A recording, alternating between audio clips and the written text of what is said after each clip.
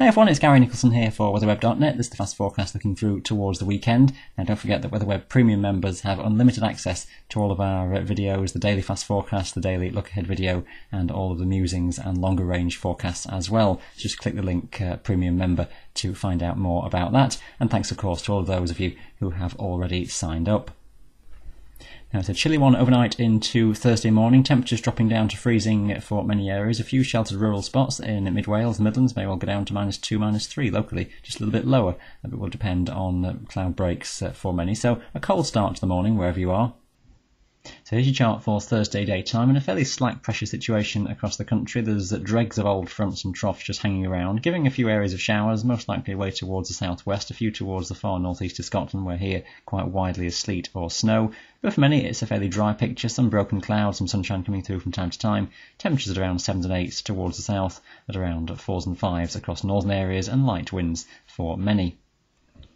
Now again, overnight into Friday, looking like a chilly one, a widespread frost on the way. The coldest temperatures across the Highland Glens of Scotland could go well down to minus 5 or below, similar to some sheltered valleys of northern England. A bit more cloud cover away towards the south and the west, though, should keep things hovering around the freezing mark. And it's that cloud cover that presents us with rather a messy picture into Friday. Just at weak fronts again encroaching into the southwest may just give some dribs and drabs of rain, a bit of sleet and snow over the tops of uh, the hills of southwestern Britain. A few uh, snow showers just moving into eastern Scotland too. But again, many areas largely dry, fairly light winds, a little bit of sunshine around. Best of this across northern Britain. Uh, generally more cloud cover just uh, covering these southernmost regions. Temperatures at around 7 Celsius again for the south, around 4 and 5 towards the north.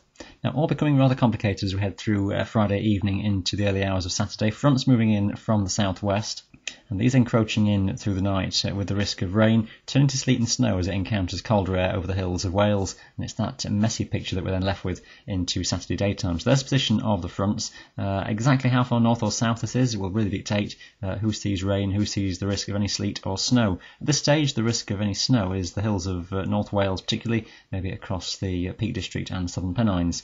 But uh, again, we'll keep an eye on details of this one. A lot could change with that forecast. We've got an easterly wind keeping it rather chilly but fairly bright across northern Britain. Temperatures at around 3s and 4s here, at around 7 or 8 towards the far south of Britain.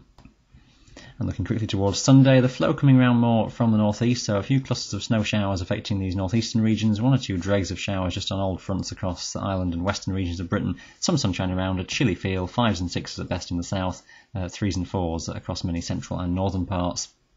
So chilly weather on the way as we head towards the weekend. Quite a complicated picture with the risk of rain and snow. And you can keep right up to date with us on that at WeatherWeb Premium. That's all for today though. Thanks for watching this video and bye for now.